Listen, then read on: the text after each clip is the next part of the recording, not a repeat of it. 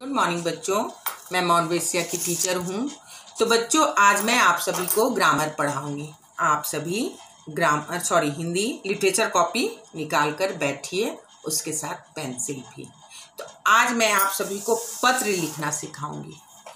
तो पत्र आप लोग पहली बार लिख रहे हो। पत्र के बारे में तो हमको समझाना पड़ेगा। तुम लोग को भी समझना है कि आखिर पत्र होता क्या है। पत्र होता है क्या?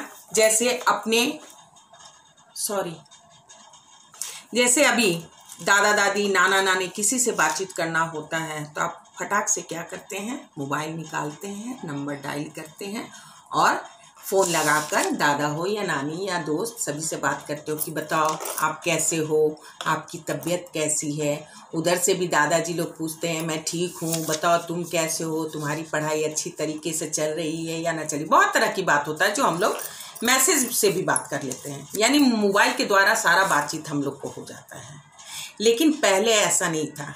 जब मोबाइल नहीं था तो हम लोग पत्र के द्वारा सारा एक दूसरे का हाल चाल पूछते थे।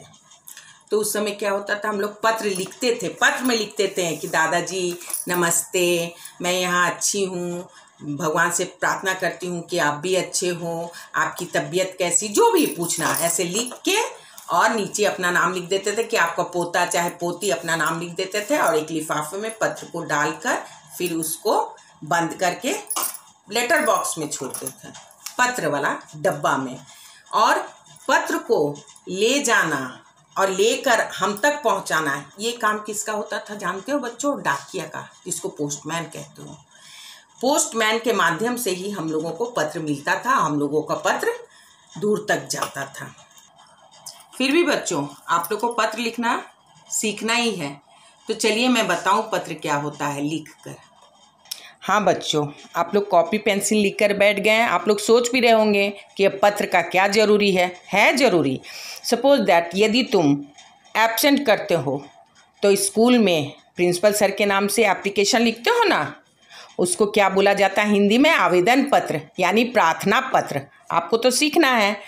तो पत्र लिखने के लिए पहले हम मित्र के पास या सहेली के पास पत्र लिखना सिखा रहे हैं, फिर पिताजी के पास भेजेंगे, उसके बाद आवेदन पत्र सिखाएँगे। पत्र आवेदन पत्र सीखना बहुत ज़रूरी बहुत सारा ऑफ़िस में कहीं भी बगैर पत्र दिए, आवेदन पत्र दिए, काम नहीं बनता, है ना? तो यहाँ देखिए, आज मैं मित्र या सहेली के पास पत्र लिखा रही हूँ। लड़का लोग अपने दोस्त को क्या बोलते हैं? मित्र। हम लड़कियाँ अपनी दोस्त को क्या बोलते हैं? सहेली। तो आप लोग सबसे पहले ऊपर में लिखिए, मित्र या सहेली के पास पत्र लिखें। क्या लिखना है? मित्र या सहेली के पास पत्र। ये हुआ आपका पत्र नंबर वन। ओके बच्चों? अब यहाँ जैसे आप लोग डेट लिखते हैं, आज का डेट डाल दीजिए। हाँ? उसके बाद हम पत्र कहाँ से लिख रहे हैं? धनबाद से, मनीटार से पंजाब से, दिल्ली से, जहाँ से भी हम पत्र लिखना शुरू करेंगे, सबसे पहले वहाँ का नाम लिखना होगा। जैसे अभी हम धनबाद में लिख रहे हैं, है ना? ठीक, देखिए, इसको सीधा लिखना है। यहाँ धनबाद लिखोगे, उसके बाद लाइन छोड़कर आज का तारीख लिखोगे। यानी जिस दिन पत्र लिखोगे, उस दिन का डेट डालना है। ओके बच्चों? उसके बाद शुरू करना है। प्रिय सहेली रानी। मैं मैं रानी लिखी हूँ, आप लोग अपने अपने सहेली का नाम लिख सकते हैं। जो भी हो, कोयल हो, पायल हो, जूली हो, सीला हो, है ना?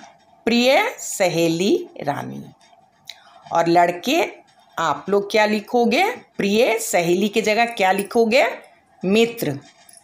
लड़कियाँ सहेली लिखेगी और आप क्या लिखोगे? मित्र। है ना? आप लिखोगे प्रिय मित्र राजा। समझे? उसके बाद लिखना है, ठीक, रानी जो अपने दोस्त का नाम लिखोगे उसके नीचे, नमस्ते। हाँ? देखिए, फिर से बता रही हूँ मैं। सबसे ऊपर में लिखोगे धनबाद, उसके नीचे तारीख, इक्कीस पाँच ट्वेंटी ट्वेंटी जो हमने लिखा है। उसके बाद लिखोगे, लड़कियाँ लिखोगी, प्रिय सहेली रानी। ये मैं लिखी हूँ रानी, आप लोग जो भी लिख सकते हो। और लड़के, आप सभी क्या लिखोगे? प्रिय मित्र, राजा। और ठीक नाम के नीचे आप लोगों को क्या लिखना है? नमस्ते। ओके? नमस्ते के बाद आपको लिखना है, मैं यहाँ कुशल। क्या लिखोगे? ठीक नमस्ते के नीचे। लाइन चेंज करके, मैं यहाँ कुशल पूर्वक हूँ। क्या लिखोगे? मैं यहाँ कुशल, फिर एकदम शुरू से रेड लाइन के बगल से लिखना है, पूर्वक हूँ। हाँ उसके बाद आप लोग को लाइन भर भर के लिखना है। आज मैं इतना ही बता रही हूँ, इसके बाद अगले वीडियो में बताऊँगी। आज आप लोग को सिर्फ़ लिखना है धन्यवाद तारीख, प्रिय मित्र या प्रिय सहेली, नमस्ते मैं यहाँ, बहुत कोई का कुशल नहीं अट, अटेगा तो कोई बात नहीं, इस लाइन से लिखना शुरू करोगे हाँ? लेकिन यहाँ एक या दो अक्षर अटेगा ही। मैं यहाँ कुशल पूर्वक हूँ। हाँ तो बच्चों, आज आप लोग केवल उतना ही लिखना। मैं बार बार आप लोगों को समझाई हूँ। लड़कियाँ प्रिय सहेली लिखेगी और लड़के प्रिय मित्र। आप लोग तीन लाइन लिख कर रखो, उसके बाद मैं अगले वीडियो में लिखाऊँगी। पूरा अच्छी तरीके से। तो बच्चों, आज आप सभी का होमवर्क क्या रहेगा? रिवाइज प्रातः भ्रमण। ओके बच्चों? बाय